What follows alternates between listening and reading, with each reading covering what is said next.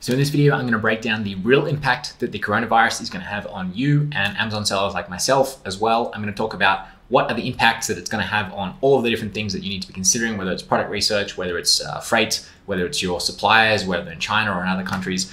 Um, I'm gonna talk about the things that you should be focusing on, the things you shouldn't be focusing on, and I'm going to give you some specific actionable takeaways so that you can go away and look at this situation and actually either take advantage of it or at least minimize the risks or know how to make a better decision um, with the money that you're investing into this Amazon FBA thing. So if you like the sound of that, um, make sure to give the video a thumbs up. Make sure to subscribe to the channel as well if you haven't already and click that little notification bell so you get videos like this as I put them out as soon as they come out. So without further ado, let's begin. So undoubtedly, the coronavirus is bad news for Amazon FBA sellers. It's going to be bad news for a lot of people. It's not really good news for many people at all. Um, but let's talk about, first of all, let's understand how does the coronavirus really affect you? How does it really affect me? First, guys, remember this is just money for us. Um, so I want to get this out of the way right now that I know a lot of people are scared. A lot of people have been asking me about this. There's obviously a lot of fear um, going around in the Amazon FBA community right now. But remember, guys, this is just money. We're just doing this, you know, to make a living or to make money or whatever else. For many other people, and for the vast majority of people actually being affected by the coronavirus, it's not just a matter of money. It could literally be a matter of life or death. So please just keep that in mind. I'm obviously talking about this from an Amazon FBA e-commerce selling online perspective, um, but you know, nothing that happens here is going to be the end of the world for us. So just let's have respect for the people that it really does impact, um, and let's go on to the second thing which is that the mainstream news thrives on fear. And this is the source of so much of this fear and doubt and uncertainty around things like the coronavirus is that basically if you're scared, you pay more attention. And then the mainstream media makes more money when you're scared because you're paying more attention. So they're always going to focus on the worst case. They're always going to highlight the most extreme perspective. They're always going to go for stories of, you know, suffering or bad things that happen because essentially business as usual is bad for the business of news. Here are some good ones where the title is actually saying something that's very positive, which is that infections ease in China. And here it says the rate of infection slows. And that's the key metric. But to make this like a clickbaity title to get people worried, they have to keep saying, they have to keep talking about the deaths, they have to keep talking about the negative impact because um, that's what you're going to be scared of. So death toll keeps climbing. I mean, technically the death toll can't go down; it can only stay the same or go up. So that's almost like a like a non-statement. And if we look at the data, which verifies the positive part of that title, what we don't want to see when it comes to an epidemic or anything that goes viral, so whether it's something on the internet or whether it's a real disease that could go um, and become an epidemic, you don't want to see it going exponential, which is where it goes appears to be flat and then it actually accelerates and the rate of infections or the rate of deaths will uh, increase very rapidly over a short period of time. And so we saw that a little bit here at the start where it started to accelerate. But what's happened now is it's completely leveled off. And that's actually a really good thing. That means we're going from this like sort of viral explosion phase where we just don't know what the impacts will be to as it starts to realistically taper off over time, we're now actually able to start looking at schedules and start seeing when things are going to open and make predictions about what's going to happen in the future. So it's very important to note that if you're just following the news, it's always going to sound worse than it really is. So that's my second point. Business as usual is going to be bad for the business of news. So effectively, just don't watch the news or don't listen to the news. Third, we're now going to look past the hype, right? So this is what I'm going to tell you is the real analytics behind this because I'm doing forecasting, I'm making plans for my own business, and I want to let you benefit from exactly what I'll be planning in my business. So let's look past the hype, let's look past the fear, let's just think about what's really going on, and more importantly for you guys, what should you actually do about this coronavirus situation? So I'm going to talk about whether you're an experienced Amazon seller, whether you're a new seller, or whether you're a complete beginner who is not yet selling on Amazon but wants to in 2020. What should you do? So let's talk about that. First, let's do a quick rundown of what's happening right now. Today is the 12th of February, 2020. Um, so just to give you a bit of perspective, I'll be very brief here basically the virus outbreak, the coronavirus, broke out in I think mid-January, and the reason why it's been so bad, or one of the reasons why it's been so bad, and has been uh, has spread to the point that it has, is that the virus outbreak actually coincided with Chinese New Year. If you don't know, it's actually by far the largest annual migration in the world, and so what happened was all of these people who were potentially infected were now suddenly traveling to all of these different places um, the country was sort of shut down. There's basically like chaos going on within China at the same time that this virus is being discovered and it's breaking out. And you can see there how much bigger um, the migration within Chinese New Year is than any other sort of movement of people around the world. So a big deal made worse by Chinese New Year. What else has happened? Um, as a result of discovering the virus during the holiday, Chinese New Year has actually been lengthened by one week uh, basically to give the Chinese government time to start locking everything down and attempting to control the virus, which, as we saw in that graph before, appears to be working. Um, so, what else is happening? Some factories have already reopened as of today.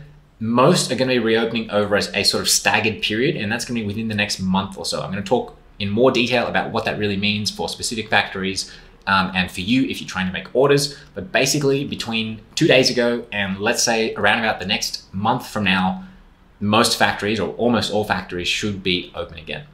Um, and again, the key thing that I want you to take away from what we've just looked at, the data, is that the virus is not appearing to go exponential. If it was, if it was spreading around the world and all this crazy shit was happening, uh, we really wouldn't be able to make plans for the rest of the year or for the coming months until we could see the situation coming under control. But it looks like it's starting to, to come under control. So now we know what's happened. Let's talk about the impacts of the coronavirus for e-commerce and specifically for Amazon FBA. And when it comes to anything like this, anything that's out of the ordinary, something that happens that uh, that's unexpected, there are always going to be winners and losers.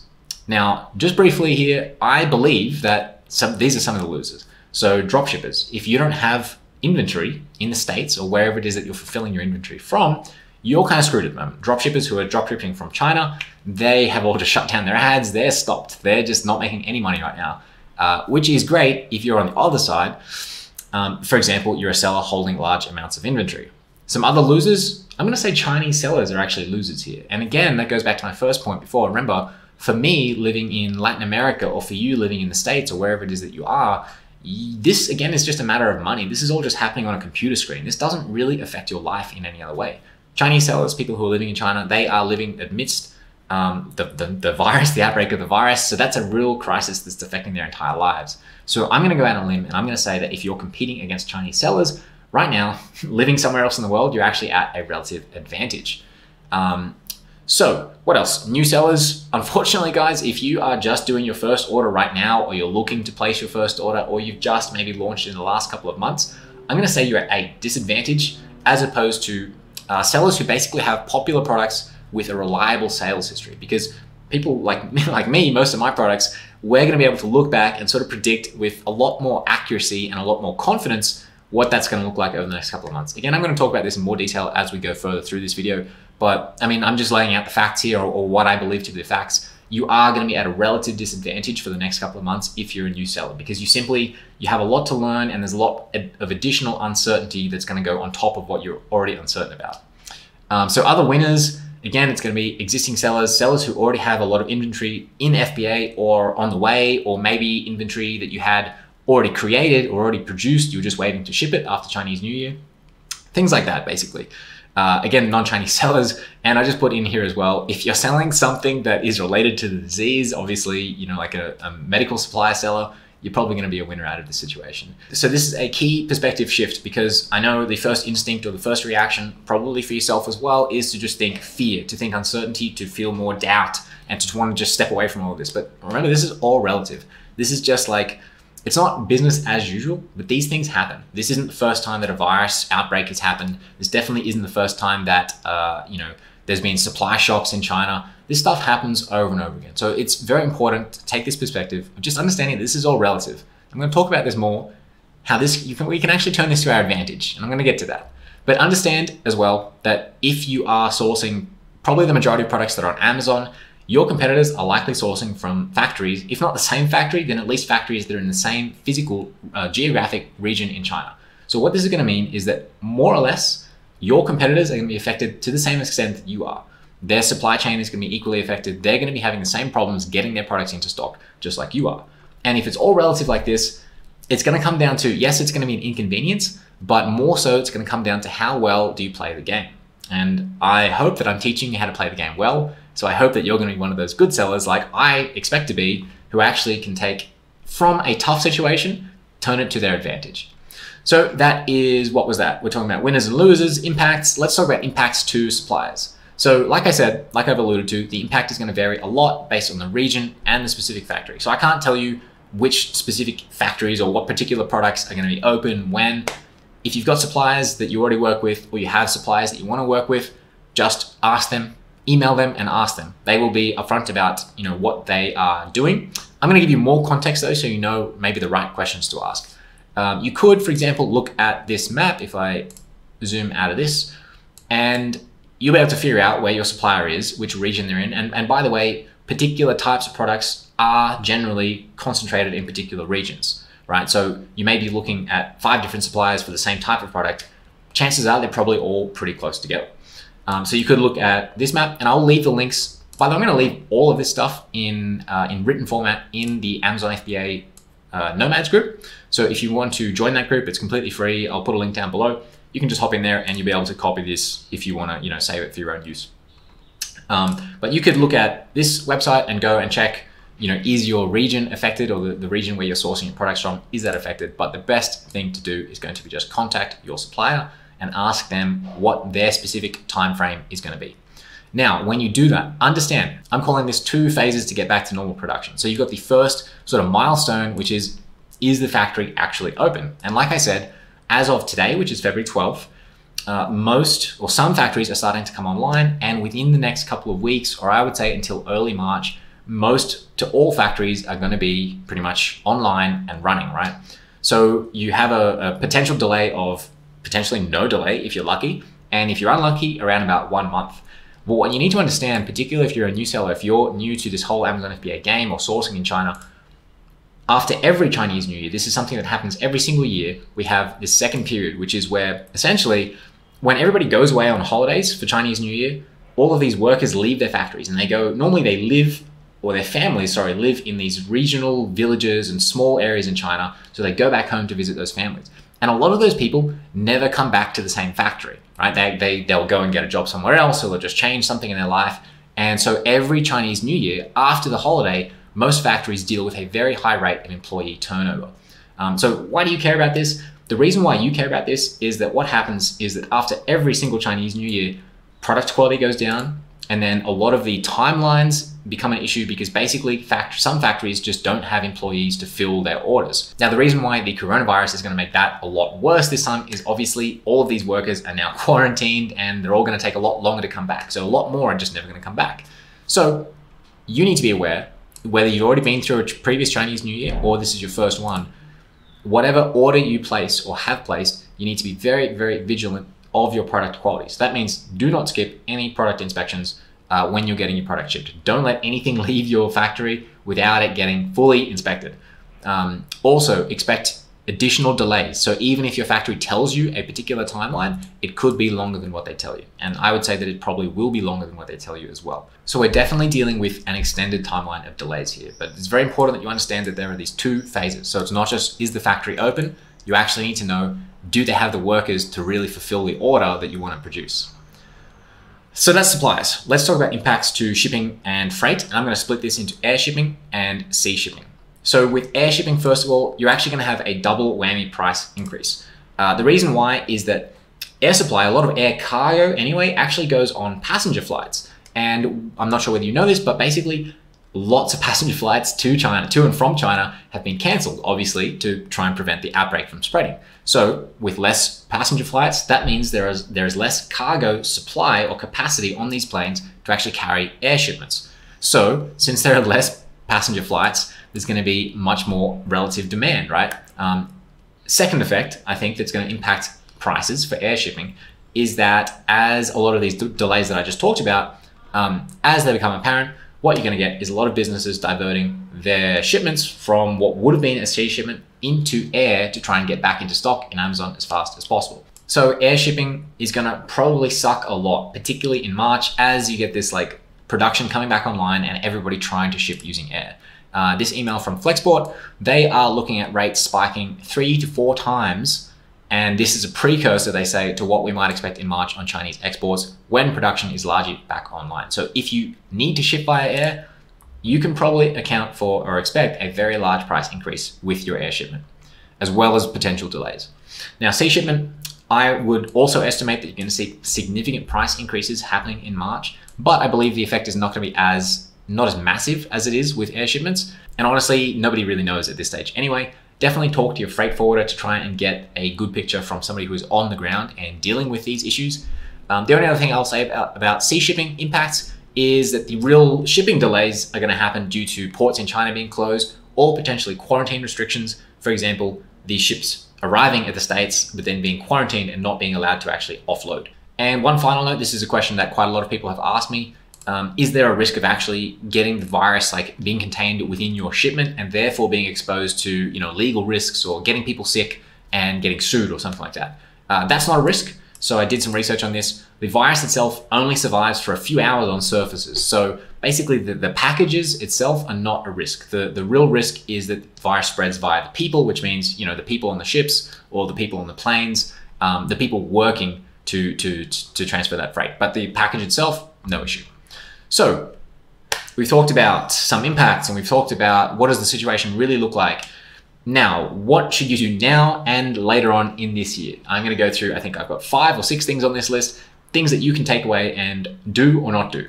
So, first of all, don't go to China. This is kind of obvious. You probably wouldn't be able to find a flight right now anyway, but stay away until the situation stabilizes. And remember, as somebody who is not in China, you right now have an advantage because the rest of your life is life as normal, and the rest of your business is business as normal.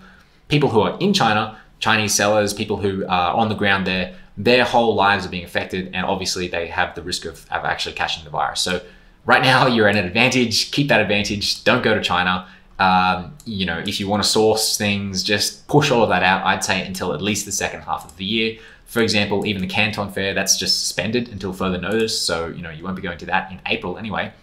Um, so don't go to China. Number two, product research. So this is obviously a common question.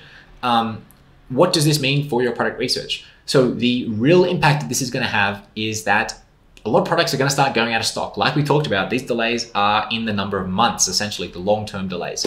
So a lot of people are, or a lot of other sellers are not going to be able to manage their stock very well. And as products go out of stock, when you are doing product research, you're not going to see those products that are out of stock. So markets are just going to start looking different. So I'm not going to make judgments about what those markets will look like.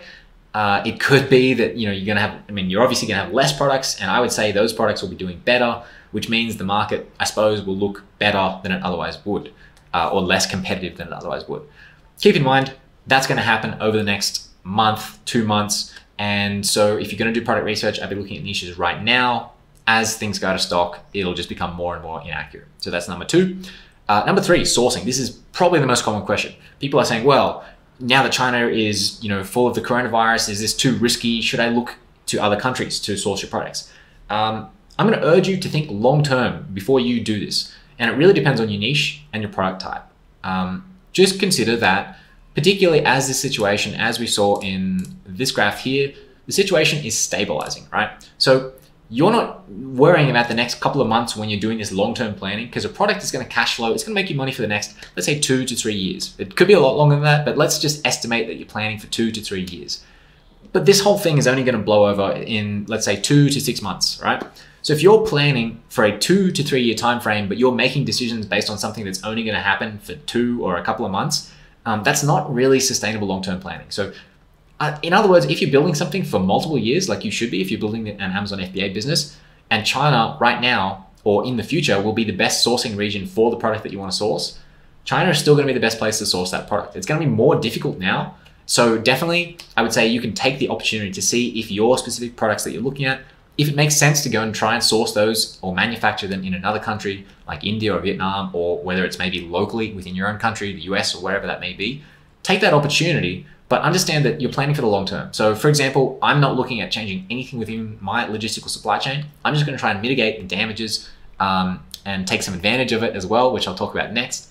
But yeah, China, still the best place to source for, I don't know what percentage, but the majority of products by far. And it will be in the second half of the year going forwards. And you should be looking at this from a multiple year time frame, not a time frame of a couple of months. So, to conclude, should you look in other countries? yes, you can, but don't change your whole plan just based on this little virus. Point number four, and this more applies to advanced sellers, again, people who are already selling on Amazon, you already have a product with some sort of sales history, you have an opportunity to win here. If you can manage your inventory, you can come out of this potentially on top, potentially on top. So understand, and let's explain why. Understand that your marketplace is just a simple matter of supply and demand. It follows the same fundamentals that any economic market does, right?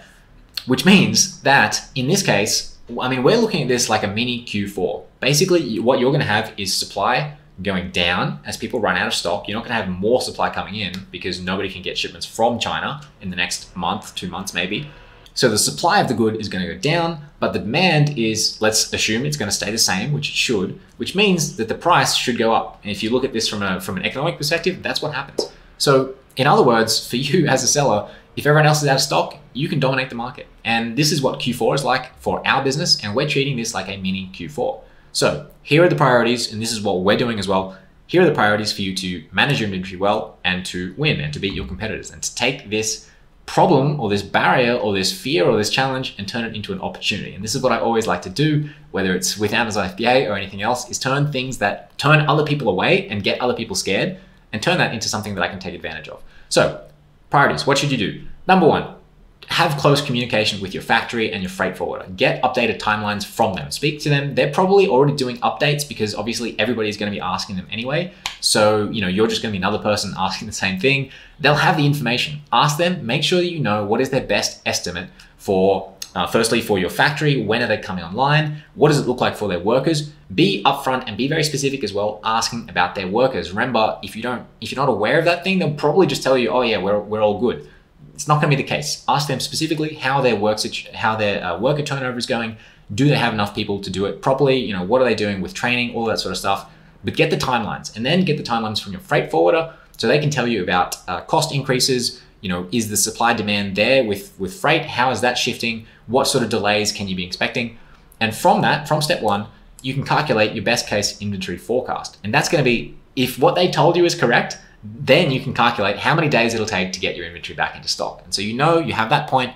If everything goes well, when do you get your stock in? And maybe you never run out of stock, in which case you can dominate the market if other people are running out of stock. If, for example, you stocked up just before Q4, uh, sorry, just before Chinese New Year, or if, for example, you had a shipment that was pretty much done over Chinese New Year, and now all you need to do is to ship it out, you'll be one of the first people out of the gate. You'll be one of the first people to get your product back into Amazon.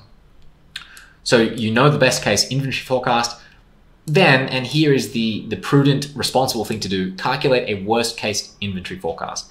And by that, that could be anything here. You're just sort of guessing a little bit. But what I'm going to do is double the best case restock time. So if people tell me it's going to be ready in one month, I'm going to say it's actually going to take two months. So between the best case and the worst case, you're going to know how much room you really have to play with. What stock do you have available in Amazon FBA right now? How long is that going to last based on your, your current sales velocity? Uh, between the best and the worst case. And that's that's it really. Then you know how you can manage your inventory. So last thing, first step four, manage inventory. Monitor your competitor stock levels. You can use the 999, uh, you can use Jungle Scout or whatever to track their stock levels, or you can just follow and see as they start going out of stock.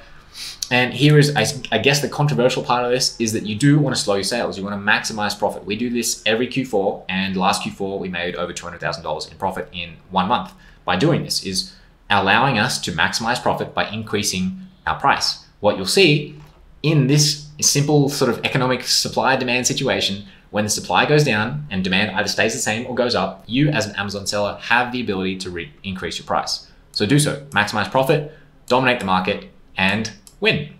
All right, so I know that's a little bit of detail. If you're a new seller, that doesn't really affect you, but if you're an advanced seller, please take this in mind.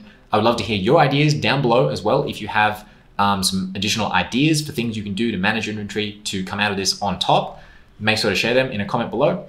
And lastly, or second lastly, reorders. So again, this affects people who have proven products. If this is your, I would say your second or third or more PO, you know how well the product sells, you know that every time you've gone out of stock, you've been able to get back into stock and re-rank again, then just commit you want to get pushed through that backlog. You want to be one of the first people to get out of the gate with your shipment when all of this stuff normalizes. Again, whether it's one month, whether it's two months, whether it's three months. So do what you, whatever you need to do to get pushed through that backlog. So maybe that means uh, committing to an early deposit. If you've got the cash to spare, commit to an early deposit or talk to your supplier to see what they want or a larger order. The fact is that they might tell you a timeline and you can move that timeline if you get creative. If you incentivize the supplier to help you through this, or if you have a really great relationship, you will be able to get pushed to the top of the queue. Um, understand when you're doing this that a lot of these guarantees around production time and quality, like I said before, they're just not going to hold as much weight. So I emphasized this before and I'm emphasizing this again. Do not skip your pre-shipment inspection. Do not skip your pre-shipment inspection. You will get burnt during any normal Chinese New Year, and you will get burnt even more this time with the coronavirus if you skip your inspection. So don't skip your inspection. Point six, strengthen your relationship with suppliers. I want to remind you here again before I finish this video that the only impact to you is some money and some numbers, and you're sitting behind your computer, and this really isn't going to have that much impact to you. But think about your suppliers for a moment they're the ones who are on the ground. They're the ones in cities that are in lockdown. They're the ones with family and friends and, and people that they know and that they love who are in a lot of trouble. They're in, they're in the middle of this crisis. So just, you know, I urge you to be human to your suppliers right now. They're affected by the virus. They have it worse than we do. They have it worse than you do. So all I want to say here is take the time to see how they're doing. Take the time to support your suppliers. And I mean, to bring it back to the sort of fundamentals, the nuts and bolts of this, strengthening your relationship with your suppliers is really going to pay off. Next time something this, like this happens, you're going to be able to get pushed to the start of the line. You're going to be able to get accurate estimates from your suppliers. You're just going to get a lot of value out of doing this right now. And it feels good and it's the right thing to do. So that was the last point, the last thing that I wanted you to take away from this that you can specifically, I hope, go away and make better decisions about how the coronavirus is going to impact you, your Amazon FBA business, uh, your ability to start selling on Amazon this year, I hope I've shown you that it's, you know, it's an obstacle, it's a challenge, but this is what business is, is just dealing with these obstacles and challenges. So I hope that you can turn this problem into an opportunity. I hope I've given you the perspective, the tools and everything to do that. If, again, if you want to grab these written notes, I'm going to post them in my Amazon FBA Nomads group. It's free to join. Just click the link down below, hop in the group, you'll be able to copy this. Uh, I hope you enjoyed the video. Make sure to give it a like if you did and subscribe if you haven't already. I will be producing more videos. I've been gone for a little while, but I'm back. And thank you so much for watching, and I'll see you in the next video.